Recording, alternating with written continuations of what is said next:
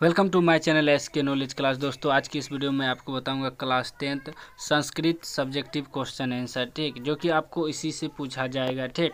तो वीडियो को पूरा देखिएगा लास्ट तक, क्योंकि इससे आपको मिलता जुलता सवाल मिलेगा, ठीक ना? देखिए, फ़र्स्ट नंबर का क्वेश्चन है दोस्तों कन्या पति निन पाठ का संदेश अपने शब्दों में लिखे, ठीक? तो इसका उत्तर है दोस्तों, पंडित कन्या सर्वश्रेष्ठ, गुण संपन्न बलवान से विवाह करने का निर्णय लेती है। वार्ड का खोज में उत्तरांतर, राजा, हाथी, कुत्ता, पंडित तक का पीछा करती है। किंतु अंत में एक पंडित तरुण ही उसे श्रेष्ठतर लगा और उससे ही कन्या ने परिणय किया। इस इस घटनाक्रम से शिक्षा मिलती है कि जो जिस शील कुल का कुल का होता है, वह उसे ही विभिन्न परीक्षणों के बाद सही लगता है। ठीक, चलिए नेक्स्ट क्वेश्चन ठीक। तो वीडियो को लाइक नहीं किया तो लाइक कर दीजिए। देखिए, दूसरा क्वेश्चन है दोस्तों, आपको ध्यान से देखना है, ठीक ना, ताकि एक बार में ही याद हो जाए। देखिए, दूसरा क्वेश्चन है, मंदाकिनी वर्णम पाठ का पाँच वाक्य में परिचय दे। ठीक तो इसका उत्तर है दोस्तों, वाल्मीकि रामायण के अध्याय कांड की सर्ग संख्या पंचानवे से संकलित इस पाठ में चित्रकूट के निकट बहने वाली मंदाकिनी नामक छोटी नदी का वर्णन है। इस पाठ में आदि कवि वाल्मीकि की कव्य शैली तथा वर्णन क्षमता अभिव्यक्त हुई है। श्री राम सीता को मंदाकिनी का वर्णन सुनाते हैं। ठीक, चलिए, तीसरा क्वेश्चन ले लेते हैं दोस्तों। तीसरा क्वेश्चन है सत्य प्रियता पाठ के आधार पर विधान चंद्र के गुणों का वर्णन करें। ठीक तो इसका उत्तर है दोस्तों विधान चंद्र राय श्रेष्ठ राजनीतिक और चिकित्सक थे। भारत रत्न से उन्हें विभूषित किया गया था। वे पश्चिम बंगाल के मुख्यमंत्री हुए। वे सत्य प्रिय थे, अपना नुकसान उठाकर भी वे सत्य का दामन नहीं छोड़ते थे। परीक्षा में एक साल का नुकसान उठा लिया, किंतु दुर्घटना भरी बात न्यायालय में सही सही कहा। इससे उनके उज्जवल चरित्र का पता चलता है। ठीक, चलिए नेक्स्ट सवाल लेते हैं दोस्तों। चौथा क्वेश्चन है कि भारतीय संस्कारों का परिचय देते। इसका उत्तर है आयुर्वेद में चरक संहिता, सुश्रुत संहिता आदि शास्त्राकार विश्व प्रसिद्ध है। खगोल विज्ञान में आर्यभट्ट बराह मिहिर प्रसिद्ध हैं। बौद्धियन भारद्वाज, गौतम विशिष्ट आदि ऋषियों ने शास्त्रों की रचना की है। परिनिकृत व्याकरण विश्व प्रसिद्ध हैं, ठीक। तो दोस्तों, मैथ में आपको कितना कितना सहायता मिला है तो ज़रूर कमेंट में बताइएगा कि मैथ में आपको सहायता मिला कि नहीं बनाने में, ठीक। चलिए, पांचवा क्वेश्चन ले लेते हैं। नीति श्लोका का पाठ के अनुसार कौन सा तीन वस्तु त्याज्य है?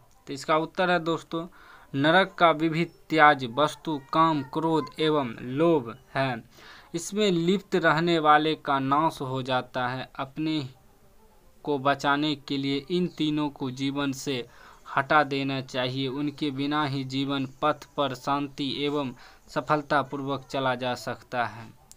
चलिए नेक्स्ट सवाल लेते हैं। छठा नंबर है दोस्तों मध्यकाल में भारतीय समाज में फैली कुरीतियों का वर्णन अपने शब्दों में करें। तो इसका उत्तर है दोस्तों, मध्यकाल में अनेक गलत रीति रिवाजों के कारण भारतीय समाज दूषित हो गया था। जातिवाद से उत्पन्न विषमताओं, छुआछूत धार्मिक अबंडर स्त्रियों की अशिक्षा, विधवाओं की नींद, निंदनीय स्थिति, शिक्षा की संक्रियता इत्यादि कुरुतियाँ समाज में व्याप्त थी।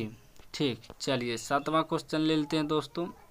सातवां क्वेश्चन है आलस कथा पाठ के आधार पर बताइए कि आलसी पुरुषों को किसने और क्यों निकाला। ठीक, इसका क्वेश्चन जो है ना ऑब्जेक्टिव में भी आ सकता है तो इसलिए सब्जेक्टिव पढ़ लीजिएगा तो ऑब्जेक्टिव में भी आपको सहायता मिलेगा। देखिए उत्तर है, आलसी चार पुरुष, जब आग से घिर गए तो एक ने कहा, यह कैसा को हाल है। दूसरों ने कहा, शायद घर में आग लगी है। तीसरे ने कहा, कोई धार्मिक व्यक्ति नहीं है। क्या जो हमारे ऊपर गीला कपड़ा डाल दे? चौथे ने कहा, अरे वाह, चाल कितनी बातें बोल सकते हो। चुप तो हो, जाए ऐसा सुनकर। नियुक्त पुरुषों ने मान लिया, यह चारों वास्तविक आलसी हैं। उनके बाल पकड़कर आग के बीच से बाहर खींच लिया। ठीक, चलिए नेक्स्ट क्वेश्चन देखते हैं। आठवां क्वेश्चन है, राजशेखर ने पटना के संबंध में क्या लिखा है? तो इसका उत्तर है, कवि राजशेखर ने काव्य मीमांसा नामक कवि शिक्षा प्रमुख अपने ग्रंथ में सादर स्मरण करते हुए लिखा है कि यहाँ वर्षों वर्ष पानिनी पिंडल, ब्याडी वारे रुचिता था। पतजुअली आदि से महान योगदान देकर ख्याति को प्राप्त किया है। ठीक, चलिए नेक्स्ट क्वेश्चन ले लेते हैं। नौ नंबर का है, पटना के मुख्य दर्शनीय स्थलों का नामों का उल्लेख करें। तो इसका उत्तर है दोस्तों, पटना में गांधी सेतु नामक पुल, जो एशिया का सबसे लंबी पुल, संग्रहालय, उच्च न्यायालय, सचिवालय, गोलघर, तारामंडल, जैविक उद्यान मौर्य कालिक अवशेष महावीर मंदिर तथा गुरु गोविंद सिंह का जन्म स्थल गुरुद्वारा आदि दर्शनीय स्थल है, जिसे देखने के लिए ख्याल से विदेशी सदैव आता है। चलिए, दस नंबर का क्वेश्चन ले लेते हैं। दस नंबर क्वेश्चन भगवान बुद्ध ने पटना के संबंध में क्या कहा था? तो इसका उत्तर है दोस्तों, भगवान बुद्ध ने पटना के संबंध में कहा था कि यह गाँव भविष्य में महानगर होगा। किंतु आपसी झगड़ा, आग लगी और बाढ़ के भय से सदैव पीड़ित हो रहेगा। चलिए, ग्यारह नंबर का क्वेश्चन देख लेते हैं। ग्यारह नंबर का क्वेश्चन है, चारों आलसियों के वार्तालाप को अपने शब्दों में लिखें। तो इसका उत्तर है, अलसशाला में आग लगने पर चार आलसी लोग भागने के बजाय आपस में बातचीत कर रहे थे। एक ने कपड़े से मुँह ढककर कहा अरे हल्ला कैसा?